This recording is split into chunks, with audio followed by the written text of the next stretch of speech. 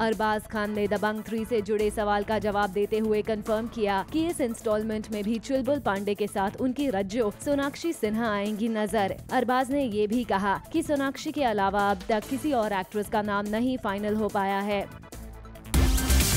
तीस में तीस।